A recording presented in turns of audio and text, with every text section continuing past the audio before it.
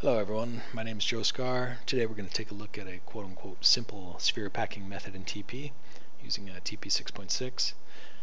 Um, I want to give a shout out to Fabian Buckrius for posting that sample file in the Facebook TP group where he modifies the uh, size of the particles using a p-search method like we uh, discussed. And today we're going to take a look at something a little bit different. I've got a method here where particles can start overlapping and what they do is they reposition and resize themselves uh, based on you know stuff. So let's go ahead and we'll get started. Uh, let's reset this. Um, of course we're using uh, standard film conventions so our starting frame is 1000 TP is going to start on 1001 um, real time is off so the TP calculates every frame. Let's go ahead and get a TP in here Alright, so the beginning thing we need to do is create a first dynamic set called system, which is where we're going to store all of our stuff. This way we make it modular, it can easily be turned into a black box. Also we're going to have a corresponding system group, and inside that group, oops, we know we're going to have at least two groups. One of them we're going to call sources, or in this case we'll call it source surfaces. And this is going to be called packs. And packs are going to be what get packed into that space onto the source surfaces let's go to this. You know, just so I don't have to do a double S, let's call it sources. And uh, this, and set it to text, Great. All right, so we're going to need two rules. We're going to need to give birth, and then we're going to need to pack. So to do this, zoom way in, we're going to create a simple plane as our starting starting surface because you should always start simple when developing a complex project. If you don't start simple, you are going to be doomed by complexity, or at least get extra challenges because of complexity. Keep it simple. Make sure it works, does what you think it does, and then go ahead and make it more complex. So one thing we need to do is bring this plane into TP. We're going to use layer to particle. Let's go ahead and put that on its own layer. call this sources. TP, let's put it on its own layer called TP. And make the active layer up there. Okay, so sources, I'm going to come in here. I'm going to put them in the group sources, instance shape on by default. Good job, Cebas. Sources, alright, so sources are going to create some packs. So each source who comes out is going to be creating some packs. In this case, we're going to start with two. Keep it nice and simple. No speed, no alignment difference. We're going to go ahead and birth on the surface of sources. And remember, if you are going to use more than one output from here, like position and alignment, cannot do this because these, without a particle to control the sampling, each one of these samples is going to be from anywhere on the mesh. So to do this properly, particle in, and let's use particle data. that tab menu, it's great, but I'm still not used to it. Boom, particle data. Let's go ahead and set the position and set the alignment sure that's set to face. Great. Okay, so let's see. Let's hide our sources layer. Do we get what we think we're getting? Um, let's make sure TP is set to start at 1001. That way we get a nice uh, safe reset frame at 1000. Yay, alright, so we get our stuff. We get two particles, we get our red source grid, Alright, so now we need to, let's give these pack particles some properties at birth. We could build a whole system for you, but we've got one already under basic called at birth. And what we're going to need is some uh, shape for those. So let's go ahead and we're going to create a new layer. Actually, let's create the object first. We're going to create a tiny little geosphere whose radius is 0.5 so that its overall diameter is going to be 1 meaning its size in TP is also going to be 1 because TP uses the longest edge of the bounding box of a particle shape as its size, always the longest. Okay, so let's pick this put that on its own layer, particle shape, shapes, sure. Okay. Okay, so now, just add some shape on there. We do, it's really, really small, so let's go ahead and modify this. You can see each particle at birth gets a random number between 0 and 1. That gets fed into a value to value to lookup table basically, or a fit if you're coming from Houdini. And what this does is says if the incoming value is 0, then use, this is on the x-axis, 0 is here, 1's over here on the right. Get that interpolation and find out, and then, so if the incoming value is 0, um, our y value is going to be 0, but our y output for 0 is actually going to be 0.1. As our random incoming number goes from 0 towards 1, it's going to be going up in y up to a value of 1 at the maximum. So this is just a nice way of creating kind of a, a random weighted value. So most of our particles are going to be here in the lower zone, some are going to be in the middle zone, and only a few are going to be really big. So let's modify this so that uh, let's turn off edit on the fly so that as we make changes they show up immediately.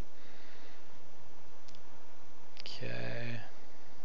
Now we want a little more randomness in between these particles. So let's go ahead and change this. Hmm. Well, we could also modify the okay, this is a good example. Alright, so what we have here is two particles overlapping. I'm going to use GreenShot. If you don't have GreenShot for screen capture software, you might want to check it out. It's totally awesome. And we've got a big particle and a small particle. And what we want to do is we want to figure out where should the small particle go in order to not be overlapping Of course, the overlap we can tell because they're spheres, we can tell by their radius, or radii. The big particle radius and the small particle radius, we need to add those two together, and that's going to tell us that this position needs to move up here. Alright, so we're going to do that by setting up our pack rule. Pack rule says, hey, I want the packs to be searching for other packs.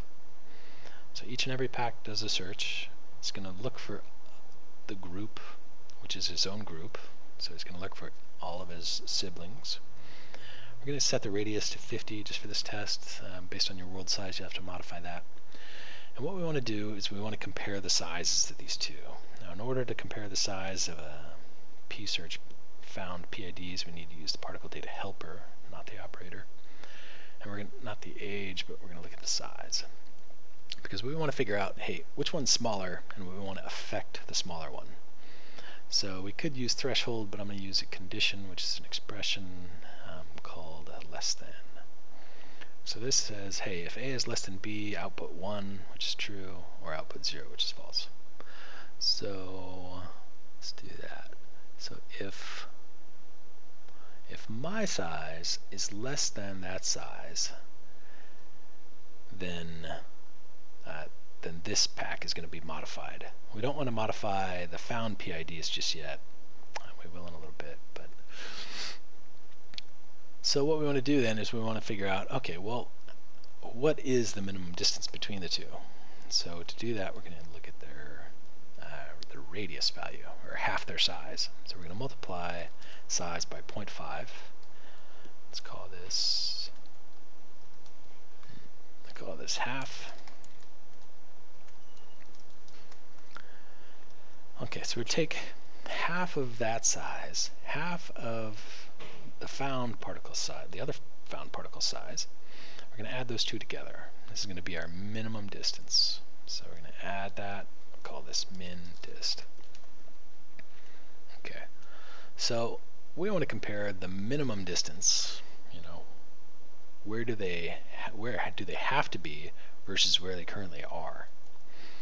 So to do that, we're going to look at uh, found distances. Now remember, each and every pack is doing a search.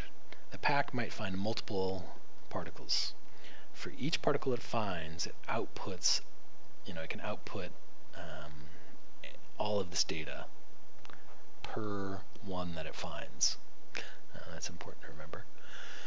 So what we're going to do is we're going to look at the found distance and compare it against the min distance.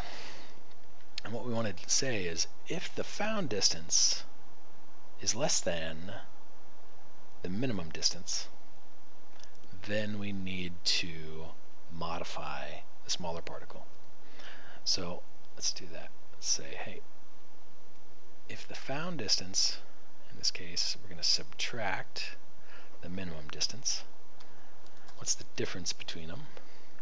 And remember, if the found distance is smaller than the min dist, this value is going to be negative coming out. So that negative value is going to affect uh, how we create an offset vector. We'll get into that in a second. So if our distance is negative, threshold, say, hey, is it inside 0 to negative 99999? Big negative number. So is, an, is it in negative territory? If it is, and if my size is less than the other one, then I want to do something.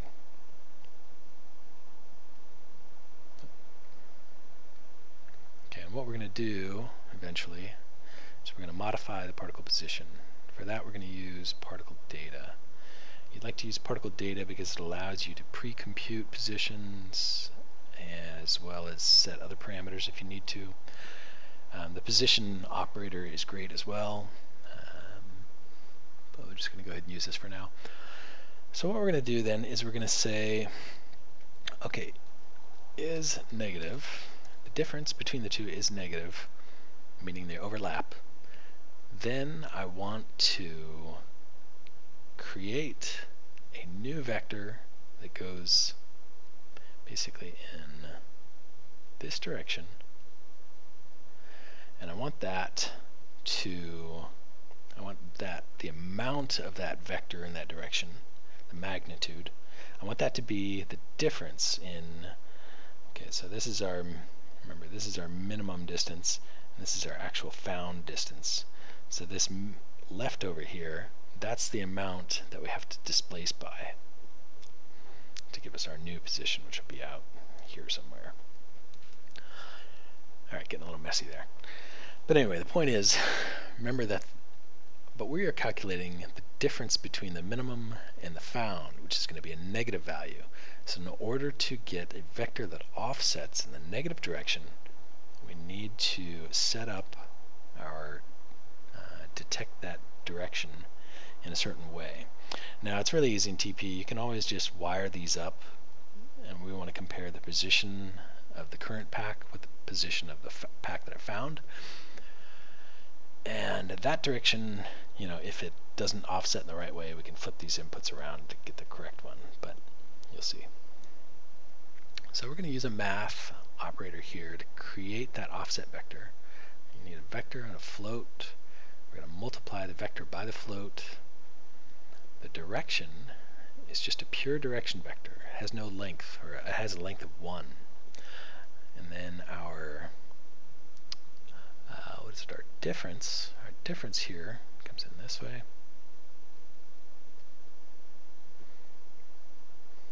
Getting a little bit cramped on space.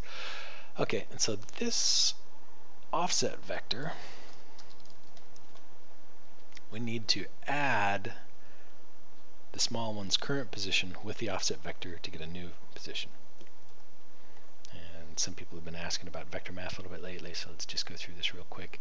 So here's my current position, here's this guy's position. Basically, we're going to get a vector. Um, currently, we're set up actually it points this way, but the difference is negative, so it's actually going to end up offsetting in a negative direction. But we want to take this current position and we want to add another vector to push us out to this position. So we're just going to duplicate that math node, take the vec another vector. We're going to connect the vector to our current pack who is searching. When you connect a vector to a particle, it grabs the position. I'm going to take that offset vector, add that offset vector to my current position, use this as my new position. Now if we did this right, it'll go into the right place. Yay! If these are flipped around, then it's going to go closer. Okay, so obviously we don't want it going closer. Let's go ahead and flip this around. If you analyze logic for, uh, you know, distance uses position 2 is the starting position, position 1 is the destination, but we've got a negative uh, value coming out of here, so that actually makes that direction negative. Uh, it all works out. So as you work more and more with vectors, that just becomes kind of a second nature. So we have this going over there. Now what we want to do is we want to get a little more complicated where we say, hey, if I'm off the surface, if if my particles are so big that one of them would be pu pushed off the edge, then I want to modify um, the size of the particles. So let's do this. Create you up here, create like that, like that. All right. so we can see clearly this guy is off the edge. And what we're going to do then is we're going to look and say, hey, this is the offset vector, or the what I'm going to call the proposed position, the new proposed position for the particle. And I want to find out, well, where's the nearest point that's still on the surface? And if that nearest point that's on the surface is less than the minimum distance, if it's less than that, well then I need to move that particle that position on the surface, and I need to make that particle smaller. Okay, so how are we going to do that? What we do has to do with our particles, our packed particles, knowing about their parent surface, sources. So that's really easy. We just create a reference, right? Once you create a reference between the two, either of them can look up data about, oh, who's my parent or who's my child. So always remember with setref, um, come up with a naming scheme or a scheme that works well for you. I like to think of particle from as the parent, particle 2 as the child. Alright, so in here, now what we're going to do is we're going to access that parent. We do that by saying, hey, give me the packed particle. The packed particle, of course, is the to me in that relationship. And what this does is says, hey, get the reference particle where the incoming particle is the to, meaning I have the child, now I want the particle who references the child. And what we want to do in order to use the nearest point on uh, geometry, we're going to use the geometry operation for that. This is under geom particle, closest point by surface. But we need to convert this particle into an object that's really easy now in TP. Thank you, Cebas, for adding a particle A and particle B input onto the object. This converts that particle into an object, and now we'll be able to access um, closest point by surface as well as that closest point distance.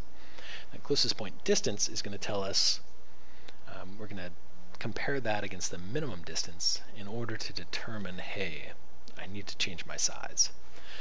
So this is going to start to impact these conditions of how many true uh, conditions have to happen for certain things to happen. We're either just going to move the position or we're going to move the position and change the size.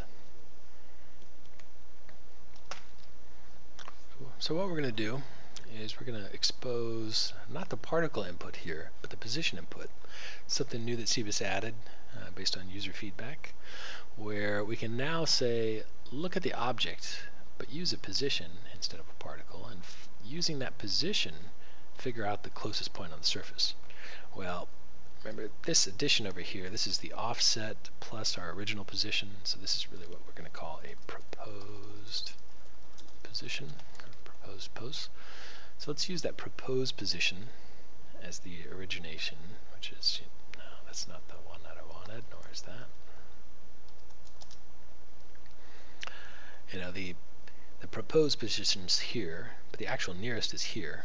And what we're going to do is say, hey, what's the difference between those two? And if it's if the difference is really small, then it must be valid. But if the difference is big, like this, then it's off the surface. So that's pretty easy. We'll just use a threshold to say, hey, what's that closest point distance? How far is that proposed distance from the actual um, nearest surface position? Okay. We'll say is near or is close enough. So is it inside, is it between 0 and say, oh, 0.5? and if it is, if it is within that, then we can go ahead and use that first condition. And I know this is a little bit confusing again that uh, going through all this, but once you actually go through and build the system, you, you'll understand why it's behaving the way it is and what you need to do in order to account for that. Alright, so if it's not close enough, meaning my particle is too far off the surface there, well then I'm going to have to do something else to it. I am going to need to meet those same initial conditions. The particle is less than the other one. Um, there's overlap. And now I'm going to say, hey, no, it's not close enough. So now I'm going to go ahead and I'm going to actually access the, the nearest valid surface position. geometry point, point data. Okay, so geom points uses point data, which taps into the geom particles output here, which is point data type. Closest point on the surface comes in. We say, oh, what's that position? That's where we're going to move our particle. So now our particles should go right onto the surface, just like that. Well, that's all good, except he's too big again, and so there's overlap. So we need to actually modify that a little bit more and reduce his size. So we're going to set it up in an iterative fashion where it's just going to multiply its current size by, say, 0.9. So every frame, it's going to be decreasing until, boom, it stops. It finds a valid uh, place and it's good to go. Now you can see there's a little bit overlap off that surface. Um, you can modify this and say, oh, just make it zero, and and it'll find and stay on that surface. So it has to be zero. It has to be on that, otherwise it just goes over. There's probably a little bit better, better way to organize some of that logic, but you know, kind of short on time these days. All right, now we're not quite done because there's always a little bit more that we can do. What we're going to find out is that as we add more particles into this system, more packs, let's put, uh, say, 50 packs in there. All right, too many. Well, let's go ahead and, um, yeah, packs is too many. Let's try 10. Okay, so let's do 10. So you can see as we start to change these down like this, some of these never resolve. They just keep getting smaller and smaller. We've got multiple ones overlapping here on this corner. What we need to do is we need to start to adjust both the big ones um, and the small ones again. Well, let's go ahead and adjust the big ones. And what we're going to do, it's a little complex, so bear with me. What we're going to do is we're going to detect, is that minimum distance greater than this? Well, we've already determined, you know, is it close enough? But what we're going to do is set up a condition for greater than. And again, I, I haven't gone through all the different logic variants of this, but um, actually, I wire that right? but uh, there's probably ways to optimize this. Alright, so let's set up the minimum distance there. This goes into here. And what we're going to do is essentially just duplicate a bunch of this. We're going to end up modifying those source, uh, or I'm sorry, not the source, but the other pack, packs that it found. So even the big ones will end up shrinking down a little bit. Now we need to meet these same conditions. Is the one smaller? Is that negative? is this on, but now we're going to add another one. So you can see it does get complex. Uh, nice thing about TP is you get a, a fully visual uh, scripting language. Um, let's go ahead and grab the size for this guy. Okay. Okay, so now you can see that they play a little more nicely together and they kind of jump into place. So that's good. Let's go ahead and save this so we don't have any unfortunate situations. Okay, and now we'll start to increase our amounts here and see if we can see how well the system does. So if we add to Total of 20. Well, you can see that we also get some more issues in here. Uh, we do get overlap. So let's actually go do this. I'm going to, oops, it on the fly is still off. This is where that danger can start to bite you. And we're going to go ahead and say, hey, take my size even and reduce that. Let's see if that helps out. Nope. forget what it was. I had some solution that uh, made that work, but this one just must not resolve. That's unfortunate.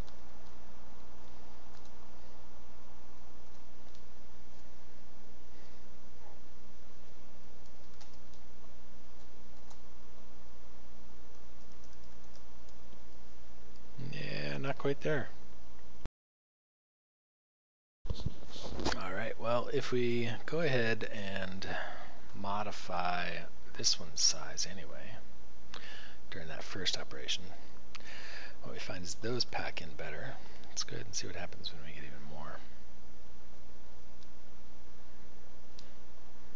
Yeah, eventually, well, this one may or may not resolve. Mm, finally, yep, there it goes. That's awfully small though. You should build in some sort of detection and, and kill off if they get too small probably. Um, but you can see kind of iterates over and eventually it'll find a solution. Now there's probably more elegant ways uh, to do this, measuring the difference in the offset vectors and then um, setting the size based on that. Um, so we go ahead and hand over this source file to you, have fun with it, and we'll see you around.